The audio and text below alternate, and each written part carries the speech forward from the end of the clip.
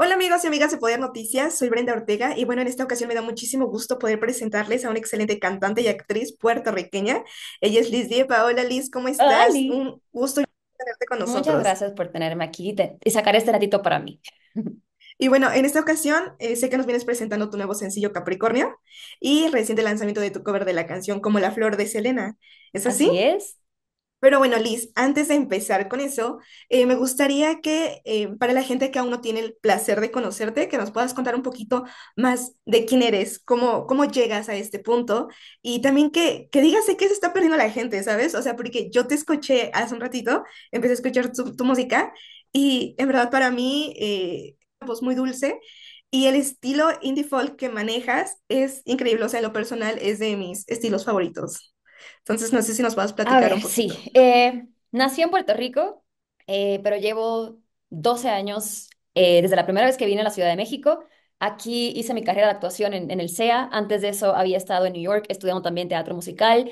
Realmente yo quería ser bailarina de chiquita, y, pero la vida, el baile me fue llevando a la actuación, me fue llevando al canto. Y así fue que entonces llego a México y, y decido, quiero que mi carrera sea en la actuación. Y estuve mis tres años estudiando, preparándome.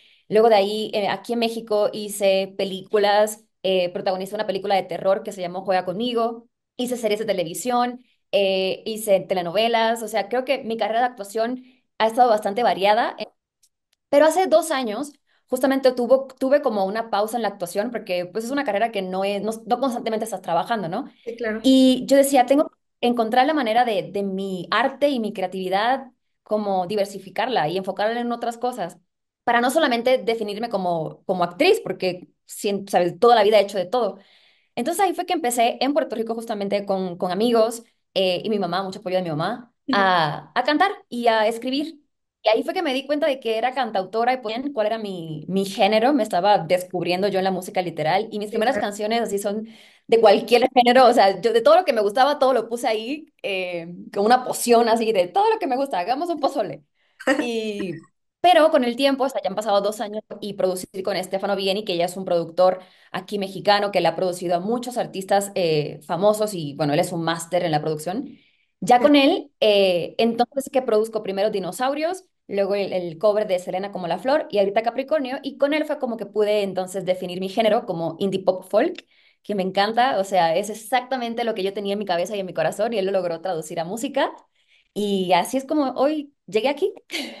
No, ves qué bonito. O sea, obviamente, como dices, ¿no? Has ido trabajando, escalando y, y asimismo conociéndote a ti misma para expresar a la gente lo que tú sientes, lo que, lo que eres tú. Pero bueno, ahorita que, que ya retomamos en tu nuevo sencillo Capricornio, ¿qué es lo que la gente puede escuchar ahí?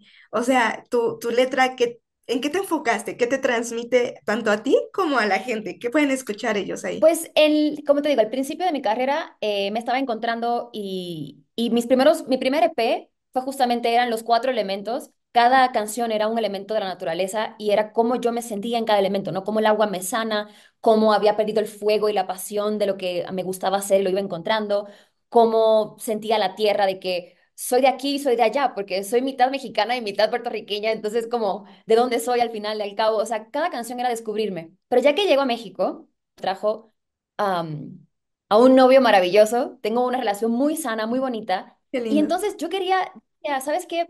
Creo que estamos ya cansados de esto de, de relaciones tóxicas, ¿no? De sin ti me muero y eres como todo. Y no, o sea, yo siento que mi relación, yo soy una persona completa, él es una persona completa y nos complementamos. Y es lindo, gente, significa el amor para mí. Y al yo, na- yo nací el Día de los Inocentes, el 28 de diciembre, eso me hace una capricorniana. Sí. Y desde chiquita, desde chiquita he tenido los, los signos zodiacales y el horóscopo muy, pues han estado muy presentes en mi vida por una tía abuela que en paz descanse, que era sagitariana y ella así de que hasta me regaló un dije con, con el símbolo de Sagitario. O sea, ella era muy eh, creyente de, Ah, de la astrología. sí. Claro. Y hoy día, ¿no? Porque justamente cada signo zodiacal representa un elemento de la naturaleza, ¿no? Que si Sí, claro. Capricornio es la tierra y Sagitario es el fuego. Entonces me gusta verlos desde ahí, desde la energía y lo que representan energéticamente en el mundo. Y Capricornio, bueno, una mujer capricorniana, yo quería explicar quién soy tan terca y tan racional y estructurada y todo me gusta como que queda así perfectito. Y cómo a una capricorniana le llega el amor y es de, pues me voy a dejar querer con tus cursilerías y con tus sandwichitos en la madrugada y con tus besitos y, y es como, es eso, es cómo llega una persona romántica a enamorar a Capricornio y a, a, como decimos en Puerto Rico, a ablandarla. Ay, qué bonito. Y bueno, eh, en este, ah, bueno, cambiando un poquito de tema, en el otro sencillo de Como la Flor de Selena, ¿qué es lo que a ti te inspira a cantar esa canción? Porque sabemos que no es tan fácil cantarla y sobre todo darle tu propia esencia, porque la hiciste a tu estilo. O sea, ¿cómo fue ese, el decir, quiero esta canción y la voy a hacer a mi manera? Para que la gente cuando la escuche sepa que soy yo, pero saber que, que tú la estás cantando. Pues sí, fue un reto. O sea, para empezar, yo me vi la película de Selena de chiquita, eh, tuve la Barbie de Selena, o sea, de que era icónico para mí ese vestido morado de ella cuando canta como la flor, esa presentación de ella donde hace la gran pausa y todo el mundo muere en el, así el público, ¡ah! Y ella, porque me gustaba esa pasión y esa luz que ella siempre emanaba, ¿no? Yo la veía de chiquita y yo decía, así quiero verme yo en un escenario, o sea, disfrutándome mi arte. Y Selena para mí siempre fue un icono. El año pasado, en Puerto Rico, hice un concierto acústico y como solo tenía seis canciones, para que fuera un show completo había que tener unas ocho o más. Y dijimos, "Va- vamos a hacer covers porque pues no tengo más canciones. Entonces, eh, para ese tiempo estaba muy famosa la canción de Miley Cyrus de Flowers. A mí me encantaba esa canción y dije, voy a hacer esa. Y el segundo verso lo voy a traducir a español, la voy a hacer muy mía. Y aparte el concierto era acústico, entonces solo teníamos guitarras y un cajón y ya. Entonces fue muy íntima la experiencia y de pronto decimos, "Pues, ¿qué otra canción vamos a, cantar? Y mi amigo dice, Como la flor. Como la flor es una buena canción. Y yo, claro, me encanta esa canción, vamos a cantarla. Y como la viví en ese concierto acústica, no tenía ya ningún instrumento musical de la original, no tenía ningún nada, nada, nada, nada. Era simplemente mi voz y sentir la canción. Cuando llego a México y me doy cuenta de que ya llevo 12 años aquí, digo, quiero honrar a México haciendo vivido aquí. Y dije, como la flor, o sea, quiero hacerla, quiero intentarla ya producida bien, a mi estilo, y que la gente escuche la letra, como yo la escuché ese día en ese concierto acústico, que la gente realmente escuche la letra. Y pues es muy fácil cuando uno hace un cover que la gente rápido te compare con la cantante original y digan, ay, no, nunca le va a llegar a los talones a Selena, Claro. X, horrible la canción. O que uno logra hacer tan suya y tan propia, que fue lo que Estefano Bien y yo logramos hacer, que como dices, sabes por la letra que es la canción y la reconoces, pero es una canción totalmente distinta. Es como yo veo esa historia que ella quiso cantar ahí. No, sí, la verdad es que, digo, cuando la escuché, sí, como tú dices, o sea, sé que es la canción de Selena, pero realmente no, no es al 100% porque le diste tu estilo de una manera tan increíble que literalmente la hiciste tuya. Y eso es de aplaudirse, la verdad. Muchas felicidades. Y bueno, eh, Liz, eh, vas a seguir haciendo canciones, vas a actuar, vas a hacer ambas cosas.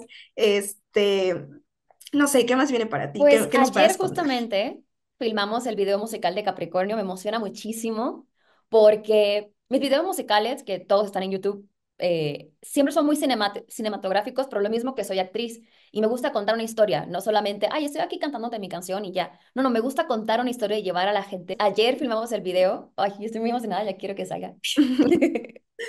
Voy a seguir haciendo música, de hecho ya llevo varias sesiones de composición, mañana tengo otra, eh, cantando, eh, componiendo canciones eh, de mi autoría en colaboración con otros autores. Eh, y tengo dos estrenos, uno es una película estadounidense que ya pronto hacen la, eh, el release a la prensa, y el año que viene, en abril, sale una serie que hice de comedia para Disney Plus, que eso también me emociona muchísimo porque la serie está buenísima. Es una producción mexicana, pero México-Argentina. O Argen- Ah, Ajá, sí, sí. sí. México-Argentina, sí. Son productores argentinos, pero la, la mayoría de, de los actores y la producción se hizo aquí en México. Entonces, me emociona mucho, esos son mis proyectos. Sí quiero seguir cantando y actuando a la vez dentro de lo que se pueda, o sea, música, o sea, quisiera como que se complementen bien en mi vida y no tener que decir algún día, ay, tuve que dejar una por seguir la otra. O sea, sé que es complicado, pero quisiera que así fuera, lo estoy manifestando. Sí, ojalá que así sea. Oye, y bueno, me comentabas que ya grabaste el video.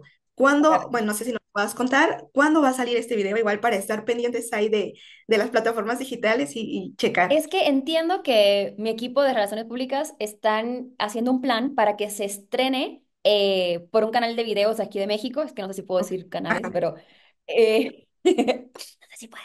Pero bueno, un canal ajá, de música y de videos aquí en México. Y eso sería en diciembre. Entonces faltaría un mes para el del video. Ok, pero ya casi, ya casi vas a ver tu, tu creación en las Sí. plataformas. Ya de ser, no sé, ¿qué sientas? Mucha felicidad, mucha sí, o sea, emoción. ayer fue un día súper emocionante de que me la pasé todo el día posteando cosas en Instagram, así de que mírenlo cómo se ve, bla. Este, me encanta, o sea, con el director que trabajé, que se llama Elías Gómez de Uruguay, Es un súper talentazo. eh, el equipo me hizo sentir tan cómoda, o sea, fue muy, fue un proceso creativo muy bonito y ya estoy, ya estoy loca porque lo vean, quedó muy bonito. Bueno, yo digo que va a quedar muy bonito. No, así ha de ser. Bueno, Liz, y ya para finalizar, un mensaje que le quieras dar a, a tu audiencia, eh, cualquier cosa que quieras transmitir. Pues yo creo que lo más que puedo decir es que estoy en un, en un momento de mi vida donde he sido yo, como lo que un productor quiere que yo sea o, o lo que, no sé, el director, el público, la gente, el vecino, mi tía, no sé. Lo que creo que es el mensaje que estoy tratando como de llevar con mi música, ser uno mismo todo el tiempo, que así es como mejor amando bonito y siendo uno mismo. Es el mensaje que estoy llevando con mi música. Y nada, estoy en todas las plataformas, mi música que habla de esto, pues ahí está. Bueno, pues muchísimas gracias, Liz. El mejor de los éxitos en cada uno de tus proyectos, tanto del presente como del futuro. Las mejores vibras, los mejores deseos Muchas para... gracias. Bye.